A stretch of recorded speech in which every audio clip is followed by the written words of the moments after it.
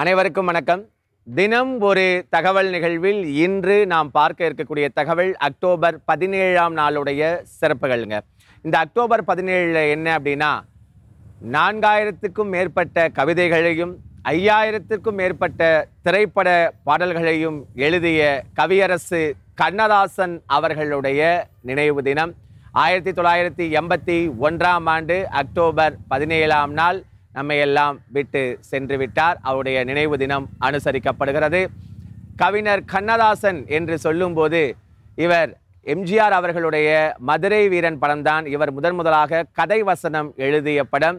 அதன் பிறகு நாடோடி மன்னன் படத்திற்கும் இவர் கதை வசனம் எழுதியிருக்கிறார் எம்ஜிஆர் அவர்களுக்கு இவர் நிறைய பாடல்களை எழுதியிருந்தாலும் அதில் குறிப்பிட்ட ஒரு அம்சமாக நம்ம பார்க்க வேண்டிய பாடல் என்று சொன்னால் ஆயிரத்தில் ஒருவன் படத்தில் இடம்பெற்ற பாடல்தான்.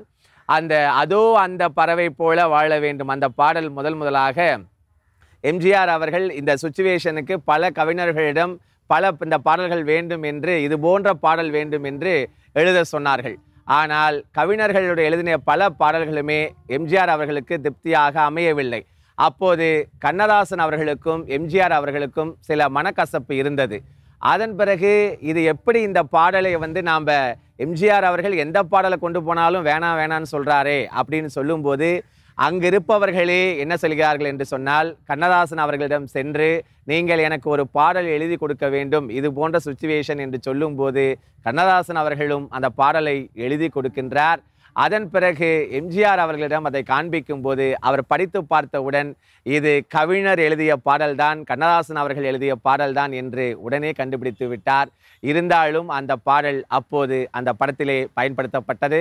அப்படிப்பட்ட புகழ்பெற்ற பாடல்தான் அதோ அந்த பறவை போல வாழ வேண்டும் அதில் அழகான பல வரிகளை அந்த விடுதலை சொல்லியும் போது அச்சமின்றி ஆடி பாடி வேண்டும் விடுதலை அப்படின்னு சொல்லி அழகான வரிகளோடு கவிஞர் அவர்கள் கவியரசு கண்ணதாசன் அவர்கள் எழுதியிருப்பார்.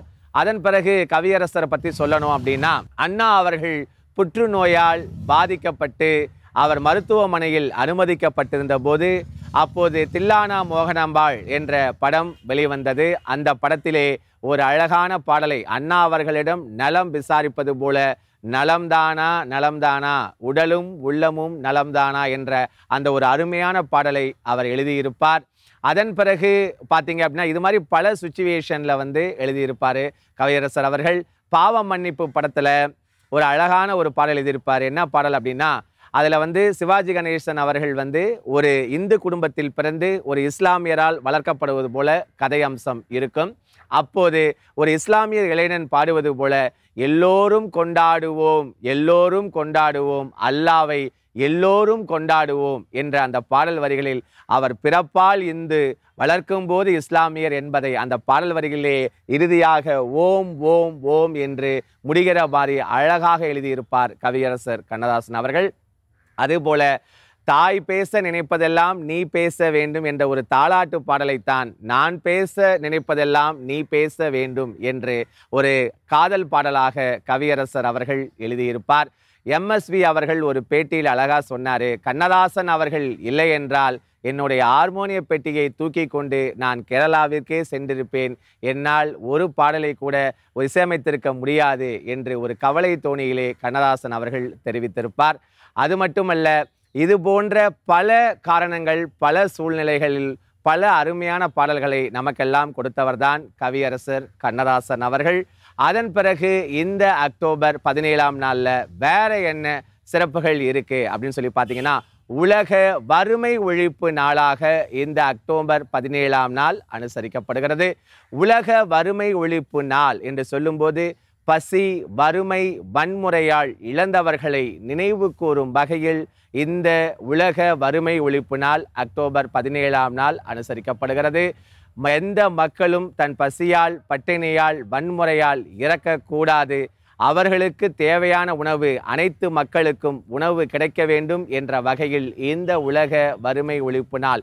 இருப்பதிலேயே கொடுமையிலும் கொடுமை என்று சொல்லும்போது பசியால் சாவதுதான் பட்டினியால் சாவதுதான் என்பதுதான். அதுபோலத்தான் இந்த பசி நீங்கி பட்டினி நீங்கி அனைத்து மக்களும் வறுமை நீங்கி வளமோடு வாழ வேண்டும் என்பதற்காக இந்த உலக வறுமை ஒழிப்பு நாள் அக்டோபர் பதினேழாம் நாள் கொண்டாடப்படுகிறது.